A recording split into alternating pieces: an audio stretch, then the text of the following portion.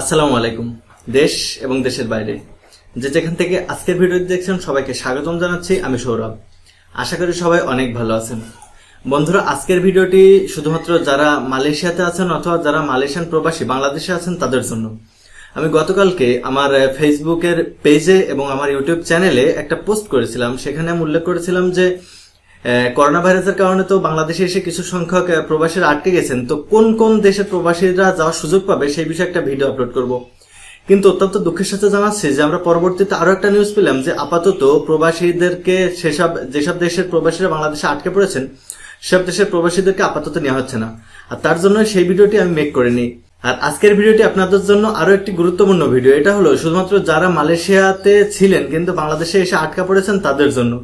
আপনারা অনেকেই জানেন যে গতকালকে অথবা গত পরশুদিন আপনারা অনলাইনে দেখছেন যে যারা বাংলাদেশে এসে আটকা পড়েছে মালয়েশিয়ান প্রবাসী, তারা যাওয়ার সুযোগ পাবে। কিন্তু ঢাকাতে অবস্থিত মালয়েশিয়া দূতাবাস থেকে আরও একটা তথ্য আমাদেরকে দিয়েছে, আর সেখানে তারা উল্লেখ করেছে যে শুধুমাত্র তিন ক্যাটাগরির মানুষজন মালয়েশিয়াতে যেতে পারবে। তো কি কি ক্যাটাগরি এবং যাওয়ার প্রসেসিংটা কি এবং যেতে হইলে আপনাকে কত টাকা খরচ করতে হবে আজকে সেই বিষয়ে আলোচনা করব। তার আগে বলতে হচ্ছে, আপনি যদি আমার চ্যানেলে নতুন দর্শক হয়ে থাকেন, তাহলে পরবর্তীতে প্রবাসীদের নিয়ে যে কোনো নিউজ এবং যে কোনো তথ্য পাওয়ার জন্য চ্যানেলটি এখন সাবস্ক্রাইব করুন এবং পাশে থাকা বেল আইকনটি বাজিয়ে দিন। আর যদি ভিডিওটি ভালো লাগে, তাহলে অবশ্যই একটি লাইক করবেন, বন্ধুদের দেখার সুযোগ হয়ে যাতে বেশি বেশি শেয়ার করবেন। কোনো বিষয়ে যদি মন্তব্য করার আগ্রহ থাকে, তাহলে অবশ্যই মন্তব্য কলমে লিখতে পারেন, আমি রিপ্লাই দেওয়ার চেষ্টা করব। চলুন বন্ধুরা, একটা ইন্টার পরে আমরা আমাদের মূল ভিডিওতে চলে যাই।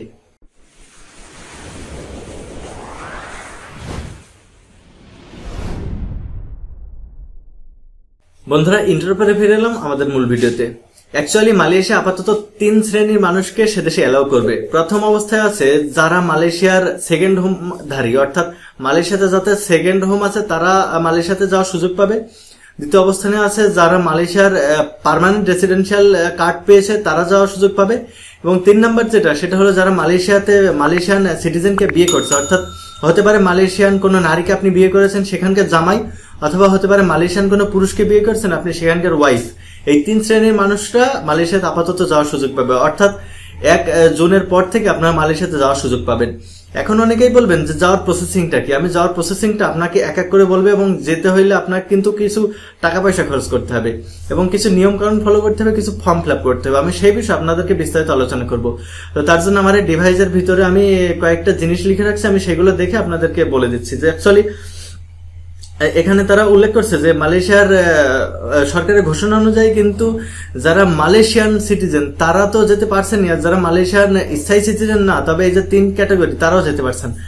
আর যারা মালয়েশিয়ার স্থায়ী বাসিন্দা অর্থাৎ মালয়েশিয়ান সিটিজেন যেটাকে বলে মালয়েশিয়ার আইসিভুক্ত তারা যদি যান তাহলে অবশ্যই তাদেরকে চোদ্দ দিনের বাধ্যতামূলক কোয়ারেন্টাইনে থাকতে হবে। আর বাধ্যতামূলক কোয়ারেন্টাইনে থাকাকালীন তাদের এক হাজার পঞ্চাশ রিঙ্গিত আহ, কিন্তু প্রদান করতে হবে মালয়েশিয়ার সরকারকে। এবং সেখানে আরও একটা কথা উল্লেখ করছে যে এই তিন ক্যাটাগরি মানুষ যদি যায়, সেক্ষেত্রে তাদেরকে টোটাল চোদ্দ দিনের কোয়ারেন্টাইনে থাকতে হবে এবং প্রত্যেক দিনে একশো পঞ্চাশ রিঙ্গিত হিসাবে একুশশো রিঙ্গিত কিন্তু তাদেরকে মালয়েশিয়ার সরকারকে দিতে হবে।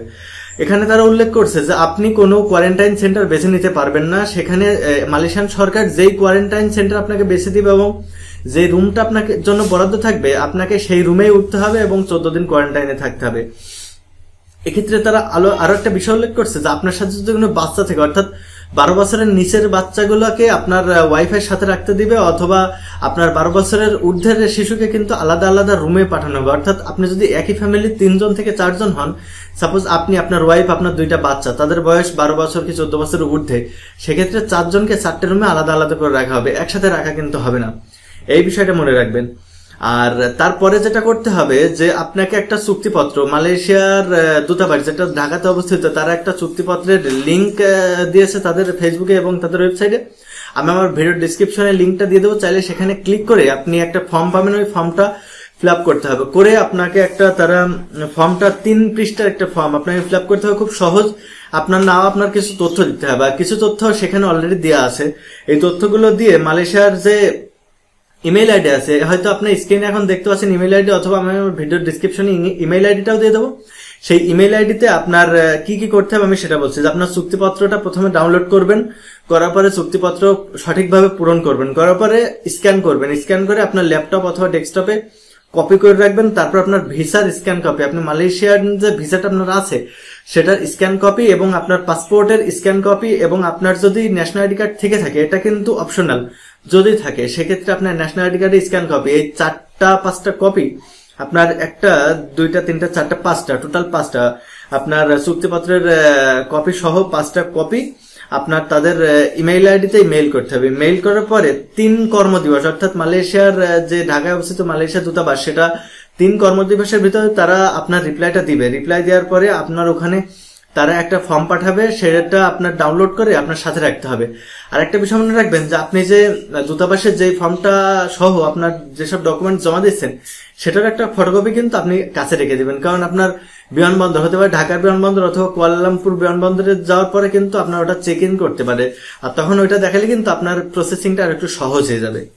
আর যারা মালয়েশিয়াতে ওয়ার্কার অথবা যারা মালয়েশিয়াতে বাংলাদেশি ভাইরা কাজ করে থাকেন কিন্তু বাংলাদেশের ছুটিতে এসেছেন, তাদের বিষয়ে সিদ্ধান্তটা হঠাৎই কেন পরিবর্তন করা হলে এই বিষয়ে অনেকে প্রশ্ন করবেন। অ্যাকচুয়ালি আপনার প্রত্যেকদিনই দেখছেন যে মালয়েশিয়া কিন্তু করোনা ভাইরাসের এই যে নিয়ন্ত্রণটা অনেকটা তাদের আয়ত্তের ভিতরে রেখেছে। কিন্তু বাংলাদেশে কিন্তু প্রতিনিয়তই করোনা ভাইরাসের রোগীর সংখ্যা দিন দিন বৃদ্ধি পাচ্ছে।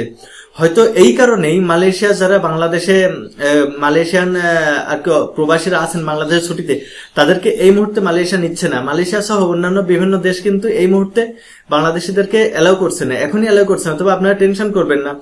আপনারা হয়তো গতকালকে বেশ কয়েকজন কন্টেন্ট ক্রিয়েটর যারা আমাদের মতো প্রবাসীদেরকে নিয়ে কাজ করে, তারা ভিডিও পাবলিশ করেছিল যে মালয়েশিয়াতে যারা ওয়ার্কার হিসেবে কাজ করেন বাংলাদেশের ছুটিতে এসেছেন তারা খুব সহজেই মালয়েশিয়াতে যেতে পারবেন। কিন্তু রাত নয়টার পরে মালয়েশিয়া দূতাবাস বাংলাদেশে অবস্থিত, ঢাকাতে অবস্থিত মালয়েশিয়া দূতাবাস থেকে একটা আপডেট এসেছে। সেই আপডেটে আবার জানানো হয় যে, যারা ওয়ার্ক ভিসাতে মালয়েশিয়াতে ছিল, তারা আপাতত মালয়েশিয়াতে প্রবেশ করতে পারবেন না। এছাড়াও বাইরের যেসব দেশের থেকে বাংলাদেশে ছুটিতে এসেছেন ওয়ার্কাররা, তারাও আপাতত প্রবেশ করতে পারবেন না। আর এই মালয়েশিয়া বিষয়ে আরও যদি কোনো তথ্য লাগে, তাহলে আমার ভিডিও ডিসক্রিপশনে মালয়েশিয়ার দূতাবাসের ডিউটি অফিসার যিনি বর্তমানে আছেন অথবা যিনি থাকবেন পর্যায়ক্রমে, তার ফোন নাম্বার আমি ডিসক্রিপশনে দিয়ে দিয়েছি। আপনারা চাইলে সেখান থেকে আরও তথ্য নেওয়ার জন্য ফোন দিতে পারেন অথবা তাদের ওয়েবসাইটও ভিজিট করতে পারেন এবং তাদেরকে মেইল করে রাখতে পারেন। আর পরবর্তীতে যদি প্রবাসীদের কোনো দেশে প্রবাসীদের দুয়ার খোলা হয় অথবা প্রবাসীদের যাওয়ার সুযোগ আসে অথবা বিমানের কোনো আপডেট আসে অথবা কোনো ভিসা সংক্রান্ত তথ্য আসে, তাহলে অবশ্যই আমাদের ইউটিউব চ্যানেল এবং ফেসবুক পেজের মাধ্যমে আপনারা জানতে পারবেন। ততদিন ভালো থাকবেন, সুস্থ থাকবেন, আর আমাদের ইউটিউব চ্যানেলের সাথে থাকবেন। আজকের মতো এখানে বিদায় নিচ্ছি। সবার সুস্বাস্থ্য কামনা করে। আল্লাহ হাফিজ সবাইকে।